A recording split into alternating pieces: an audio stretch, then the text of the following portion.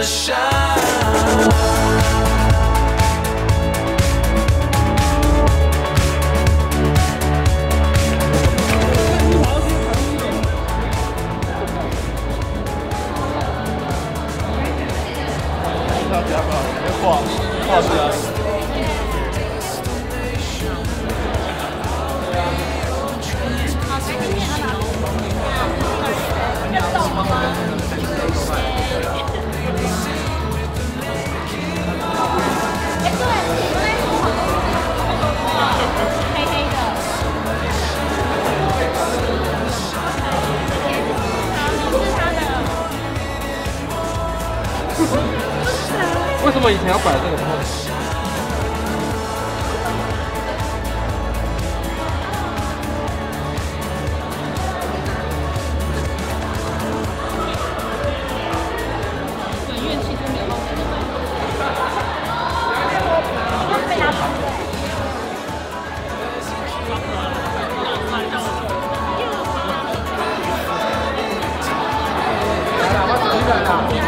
Thank you.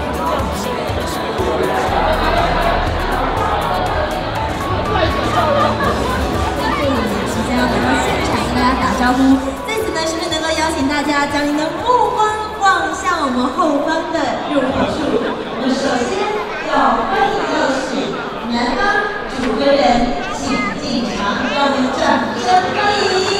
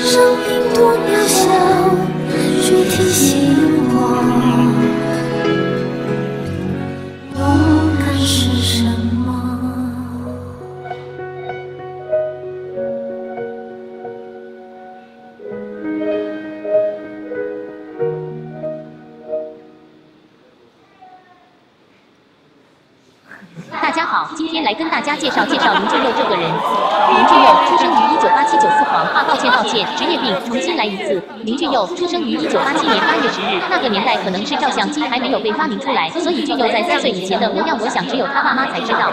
这可能是世界上第一张有林俊佑入镜的照片。右边的小美女是俊佑的姐姐，对面站的我想应该就是他们的父母了。岁月真是不饶人。再来看看这一张，这位小美女的高领无袖露肚点点穿搭，可真是领先女装时尚三十年。抱歉抱歉，我忘记今天的工作是要来介绍俊佑的，真是容易被遗忘啊！难怪三岁以前没照片。我们今天的主角俊佑同学，其实小时候头发都是直的，某一天在魏征的本人的同意之下，被自己的妈妈强迫烫成一头卷发，从此就直不回来了。这是俊佑的阿公阿妈，跟阿公和阿妈聊天必须要讲闽南语加一汤，从小在电话里不管是几点，第一句话都是阿公比邻假发微微。这是俊佑的阿爸，职业是大货车搬运工，三十几年来一肩起全家的经济重担。俊佑小时候家里只有大货车，开车载全家人去游乐园玩都不用怕找不到停车格，因为他们都是直接停在游览车的位置。这是俊佑的阿木，家庭主妇，偶尔兼职家庭代工，拉拔三个小鬼头长大，很喜欢对俊佑述说俊佑很小的时候在公车上发生癫痫，他情急之下将手指给俊佑咬住的故事，俊佑大概听了五百万次。这是俊佑回外公外婆家的照片，左边的小胖子是俊佑的弟弟，从小都会趁俊佑起床之前将俊佑的早餐一起吃掉，让俊佑多年来都不知道父母原来有准备早餐。啊，时间不早了，剩下的部分就让我们加速带过去吧。林俊幼稚园毕业了，林俊幼小学毕业了，林俊幼国中毕业了，林俊幼高中毕业了，林俊幼大学毕业了，林俊幼硕士班毕业了，林俊幼博士班毕业了。光阴似箭，岁月如梭，三十个寒暑的生活仿佛就像十秒钟的事。从小到大的俊佑在不同的时期可能拥有不同的模样，有时候会觉得自己跟别人格格不入而无法融入这个世界，就像电影里的反派大怪兽；有时候又会觉得自己突然变成团体中的重要角色，就像是各种卡通里的主角。小编是觉得，不管是哪一种，每个人在自己的故事中是怪兽也是主角。接下来，俊佑和乐之希望献给那些年一起在电视机前冒险过的小朋友。有时候生活或许不如意，但请不要放弃希望，即使现在成为了大人，也请不要忘了当年那个单纯纯热血的自己。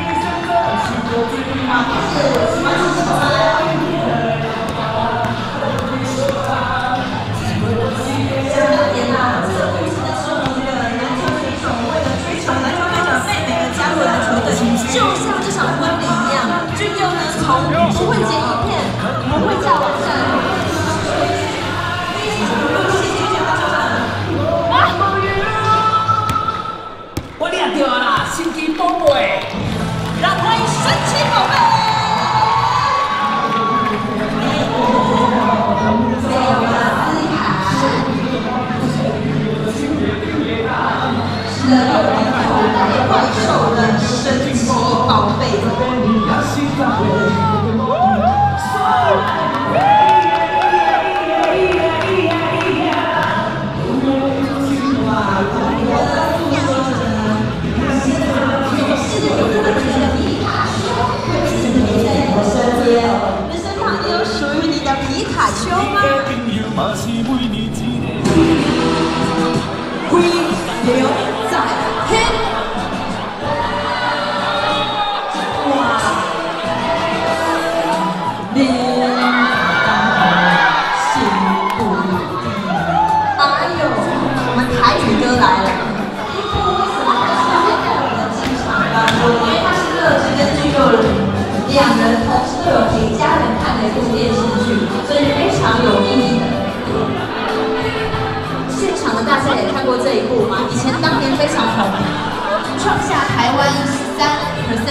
是立的飞龙在天，相信可能也是在场许多朋友的回忆呀、啊。好，这分别由我们的南瓜跟扁平饰演。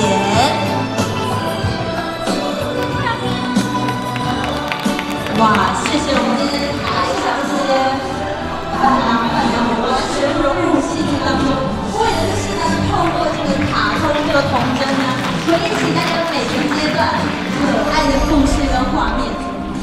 快到的男主角呢，他要带来是吴友会的成名曲。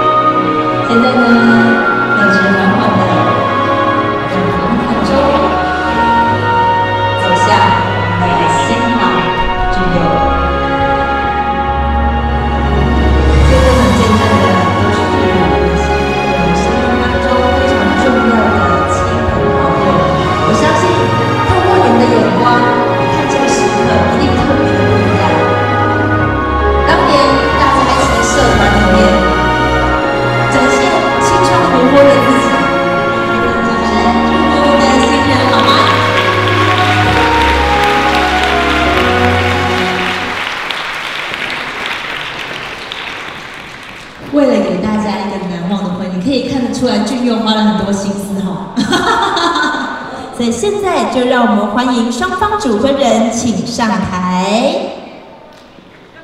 大家应该有看到，外面有一处是我们新人他们成长点点滴滴的这些累积，所以可以看得出来，家人的扮演非常重要的角色。待会我们台上的新人及双方主婚人也将以举杯的方式和大家来表达感谢。好的，邀请大家将您的酒杯高举起来，待会呢倒数三二一之后，祝福我们的新人新婚快乐。准备好了吗？倒数三二一，新婚快乐，请干杯！来，请各位嘉宾将祝福装进酒杯里，祝福我们新人福杯满溢，天长地久。那也再次邀请大家用你们的掌声祝福我们台上的幸福大家庭，掌声恭喜！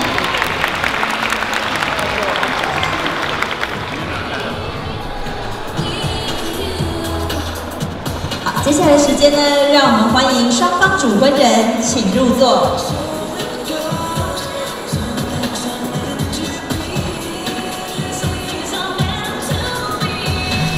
接着，让我们欢迎新人入席